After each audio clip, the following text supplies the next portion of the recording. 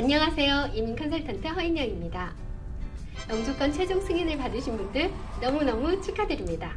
영주권 그렇게 간절히 기다렸는데 막상 받고 보니 달라지는 건 하나도 없네 라고 말하기도 하시지만 오매불망 영주권만 바라보고 달려온 지난 2, 3년을 생각하면 축하 파티 하셔야 됩니다.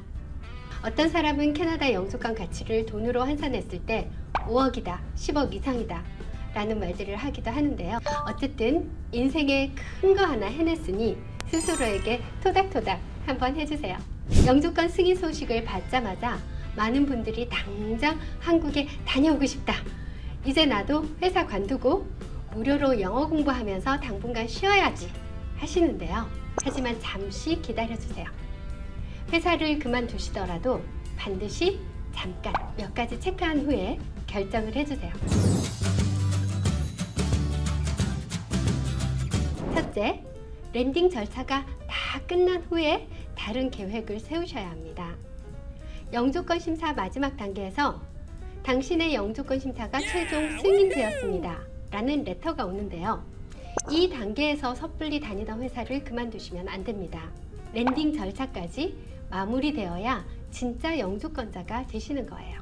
팬데믹 이전의 landing은 입국 시에만 할 수 있었습니다.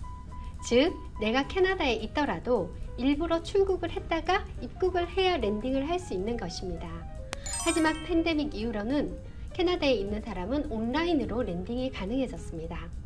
온라인 landing이란 첫째, 이메일로 캐나다에 거주하고 있는지 체크를 합니다. 둘째, 온라인 포탈을 생성하고 셋째, 온라인 포탈상에 사진과 주소를 업로드합니다. 그리고 PR카드를 수령할 주소를 다시 한번 컨펌하셔야 됩니다. 드디어 ECOPR을 받으면 그 순간부터 영주권자가 됩니다. ECOPR 절차 중에 이민국은 영주권 카드 발급 절차도 밟아주는데요.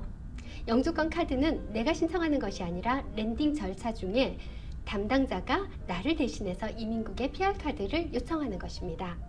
자 그럼 landing 과정이 끝나서 진짜 영주권자가 되었으니 축하 겸 해외여행을 가도 될까요? 아닙니다. 영주권 카드가 올 때까지 기다리셔야 합니다.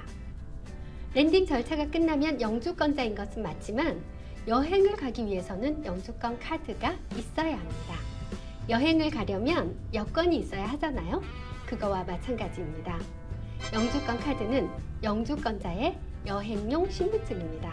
영주권 카드를 소지하지 않고 해외로 나가시면 나갈 땐 괜찮은데 캐나다로 돌아올 때 문제가 발생합니다. 영주권 카드는 보통 한 달 전후로 발행이 되는데 개인별로 빠른 경우는 2주만 해도 어떤 경우는 3, 4개월이 걸리기도 합니다. 또 온 가족의 카드가 한꺼번에 오는 것이 아니라 가족 구성원 각각 발행이 돼서 가족 중 누구는 빨리 받았는데 누구는 엄청 늦게 받기도 합니다. 그러니 여행 계획은 온 가족이 PR카드를 손에 쥘 때까지 잠시만 더 기다려주세요. 다음은 의료보험 카드와 신카드를 업데이트합니다. 취업비자나 학생비자 소지자의 의료보험 카드와 신카드는 비자 만료기간과 동일하게 유효기간이 있습니다. 이제 영주권자가 되셨으니 유효기간이 없는 의료보험 카드와 신카드로 변경하셔야겠죠? 일하는 곳에도 새로운 신넘버로 업데이트를 해주셔야 됩니다.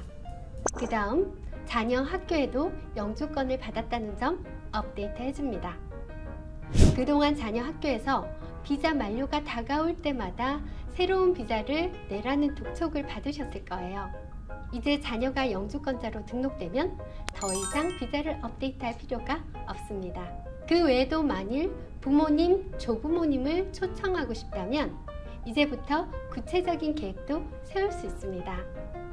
부모 초청은 1년에 단 한 번 초청의 기회가 있고 또 초청인은 3년간 일정 금액 이상의 수입을 증명해야 하니 미리미리 계획을 세워서 자격 조건을 만들어 두시는 것이 좋습니다.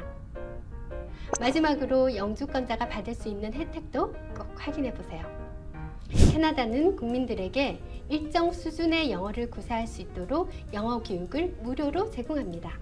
또 고등학교 교육 과정을 무료 혹은 아주 저렴한 비용으로 공부를 할 수도 있고 대학 입학도 현지인과 같은 비용을 내고 정부 보조금이나 학자금 융자를 받으면서 공부를 할 수 있습니다. 은행 융자를 받아서 집을 사거나 세금 보고 시에도 영주권자임을 밝히시고 본인 상황에서 받을 수 있는 정부 보조가 무엇인지 확인하세요. COPR 레터를 받는 순간 영주권자라고 말씀드렸죠. 캐나다는 직업 선택과 거주지 선택의 자유가 헌법에 보장되어 있습니다.